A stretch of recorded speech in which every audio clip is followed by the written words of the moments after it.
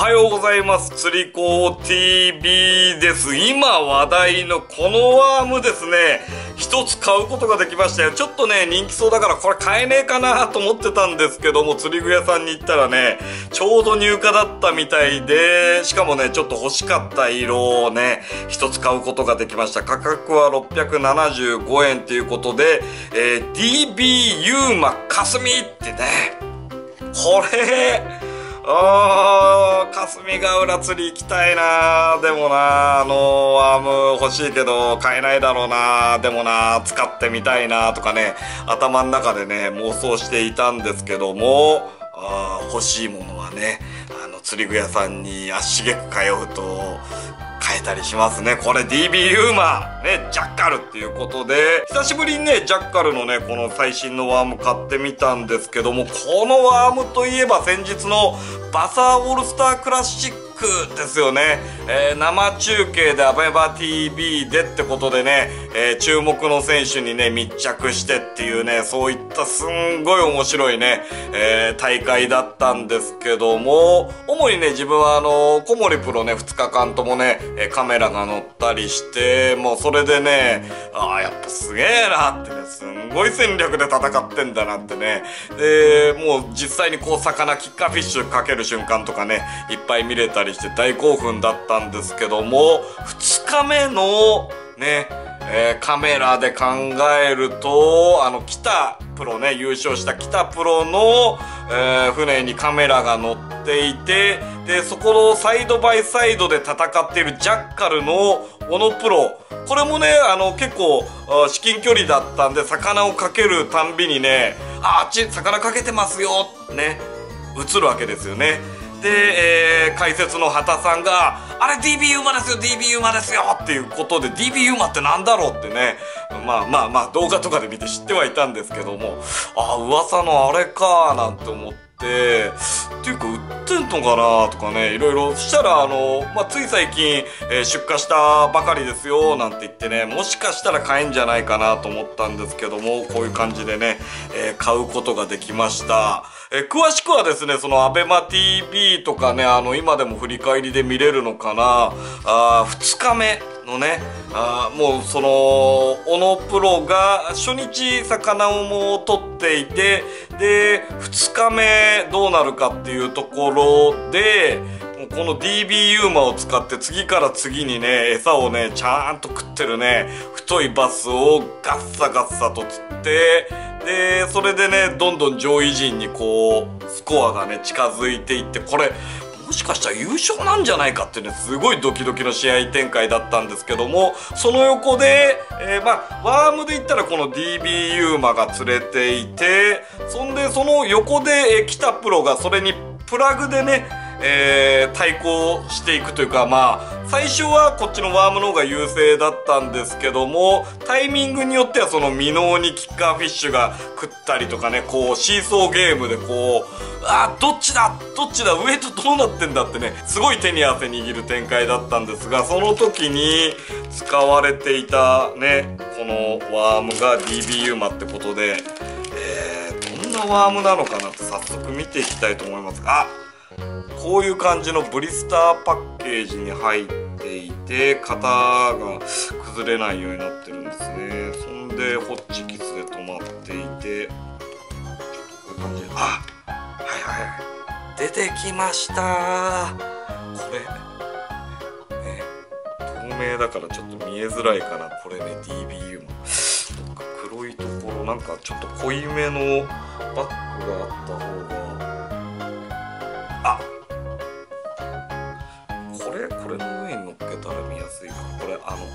袋で。すけどねはい。こんなワームなんですね。すげえ。ちょっとこれ。ね。手が1234ってついていてこの特徴的なテールが後ろにあって。あこれがピランピランピランピラン。なるんだな。であのこれを使うシチュエーションなんですけども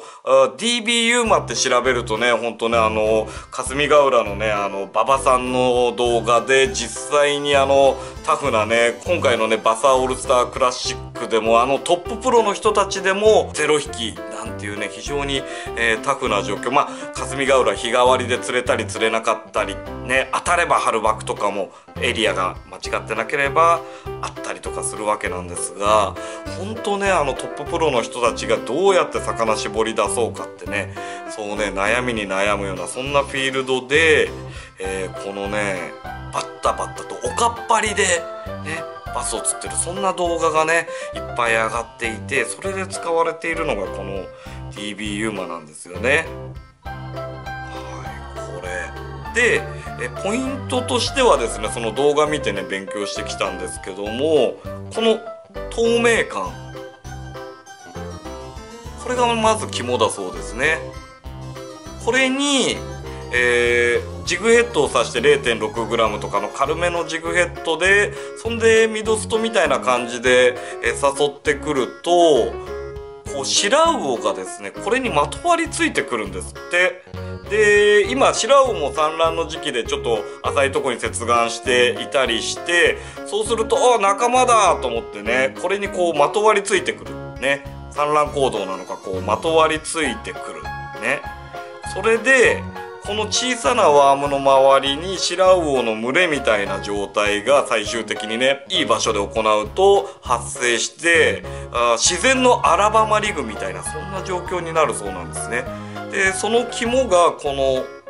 テールのはためきだったりこの小さな手のね部品の効果だったりするみたいなんですけどもそれによってなんかおベイトの群れがいるぞ。ね。で白魚食いの変色してるブラックバスが思わずパクって食っちゃうっていうね。こういうワームみたいなんですけどもそこでこの開発の時に肝になったのがこのね透明感。ちょっともうこういう感じでもう手の上にあるといるんだかいないんだかね分かんなくなっちゃうぐらいのこの透明感ねちょっとねこの黒い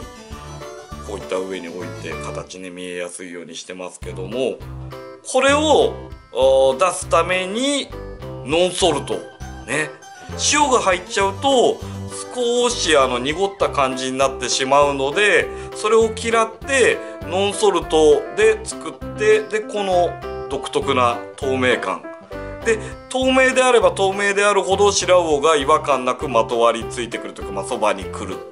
こういうことみたいなんですよね。へえと思ってね霞ヶ浦で釣りしてるとあなんか白魚いるなとか確かにうーんそうですね透明の超小型ミノとかを使ってるとあなんか寄ってきてこうじゃれついてくるなっていうのは見たことあるんですけどもそれを偶然ではなくてもう狙って起こすために作り込まれたのがこのごく透明なこの感じのボディだそうなんですね。で、えこれはこんだけ透明だから状況によっては目立たなくなっちゃうことがある場合もあるっていうことでもう少しそのローライトの時用に、えー、シルエットがはっきり出た白魚とかね、えー、そういう感じで、えー、3種類ぐらいの白魚カラーが準備されてるそうなんですけども基本はこの透明感大事よっていうねこういうことみたいなんですね。でこれでシェイクしてるとまあねそれにはこう糸の太さとかあロッドとかねその軽いものを遠くに送り届けてでこの時期特有のゴン太のバスがかかっちゃった時もえ釣り上げられるようにねまたそのタックルセッティングとかも重要になってくると思うんですけどもあ見た動画ではね4ポンドラインとか使われていたのでまあ飛距離重視っていうよりもいざ大きなのがかかった時おかっぱりとかでかかっちゃった時でも安全に取り込めるようにねあフロロの4ポンドとか3.5とか3じゃないんだってねすごいね印象的だったんですけども何にしてもね